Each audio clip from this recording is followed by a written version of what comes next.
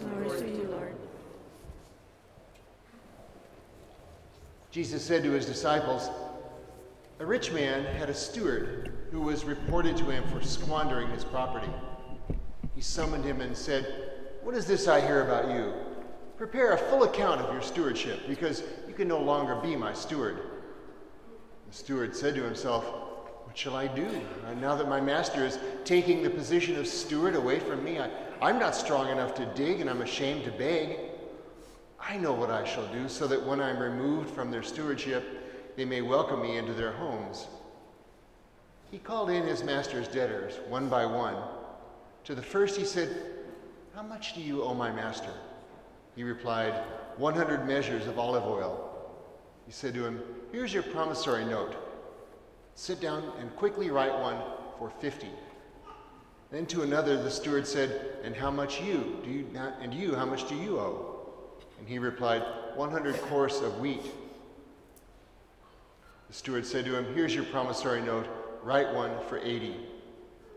And the master commended that dishonest steward for acting prudently. For the children of this world are more prudent in dealing with their own generation than are the children of the light. I tell you, make friends for yourselves with dishonest wealth, so that when it fails, you will be welcomed into eternal dwellings.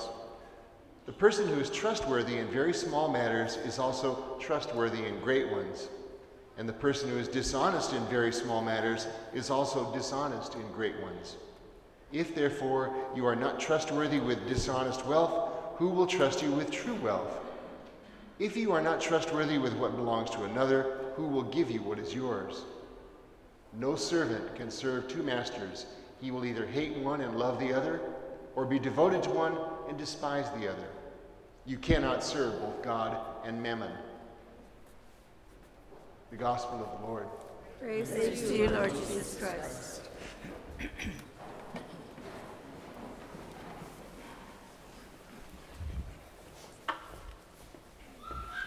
So, this is one of those Gospels that has to be read again and again, again, to get the heart.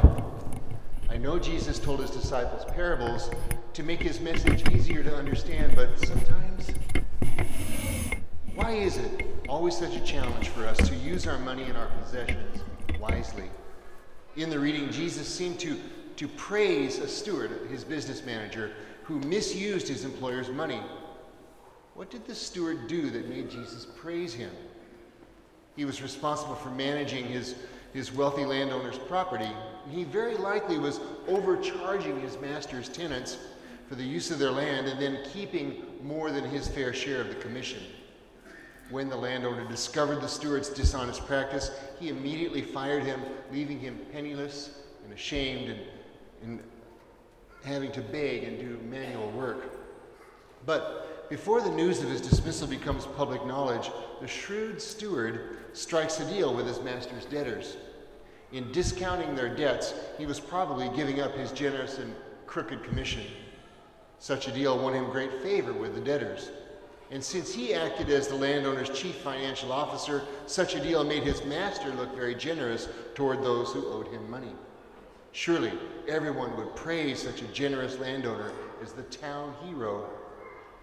Since the master could not undo the steward's reduction of the debts without losing face and making his debtors resent him, he praised the steward for making him seem to be generous and merciful.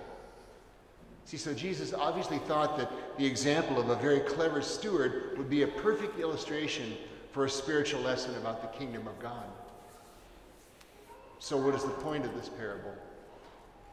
The dishonest steward is commended for his shrewd ability to secure the master's position and reputation in the community.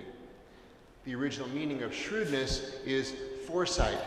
A shrewd person grasps a critical situation with resolution determination, and foresight to avoid serious loss or disaster. Often when we hear this parable, we become confused or perplexed. Jesus is warning those who, who would follow him on the road to heaven not to place too much importance on earthly things, and that's applicable to all of us. Some of us may feel that this warning was for millionaires or, or wealthy CEOs. Mm-mm. There was not a single millionaire among his listeners. He meant it for all of us. And what he warned against was not the just acquisition of the world's goods, but their unjust acquisition, and the dishonest use of them, even if they were justly acquired. This story reveals the depth of trust which God has given each of us by trusting us with life and free will. In the parable, the master commended the dishonest servant for acting prudently. The prudent behavior was even more, more important than even the selfish servant's dishonesty. The servant had been entrusted by the master with great power and evidently had been caught abusing it. But in one final attempt to secure his future security, he technically abused that power even further. Is it possible that the image of the dishonest steward is an image of us in ordinary life? We're probably not dishonest, we're not criminals, but are we striving to be as responsible with our lives as we should be? Do we have the foresight to avoid our own potential disasters? All of that being said, Jesus' is concerned here with something more critical than financial crisis. His concern is that we avert spiritual crisis and personal disaster through the exercise of faith and foresight. If we as Christians would only expend as much foresight and energy to spiritual matters which have eternal consequences as much as we do to matters which have earthly consequences, then we'd be truly better off, both in this life and in the age to come. True wealth consists not only in what we keep, but in what we give away. Our gifts and our possessions are a great responsibility. The Lord expects us to use them honestly and responsibly and to put them at the service of Him and the service of others. We are God's servants, and all that we have belongs to Him. He expects good return on what He gives us. God loves generosity, and He rewards those who share His gifts with others. The Pharisees, however, had no room for generosity in their hearts. The Gospel of Luke tells us that they were lovers of money. Love of money and wealth crowd out the love of God and love of neighbor. Jesus makes it clear that our hearts must either be possessed by God's love or our hearts will be possessed by the love of something else. Remember gratitude. Being grateful for what we have gives us the ability to be even more generous.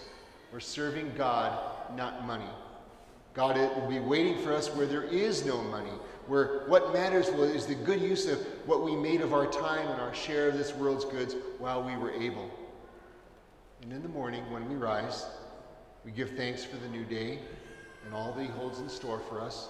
And in the evening, we acknowledge Him for His protection, His providence, His wisdom, His guidance, and His will, and for His mercy and forgiveness. Lord, all I have is a gift from you.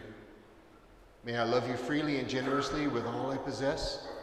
Help me to be a wise and faithful steward of my resources, including the use of my time, my money, and my possessions.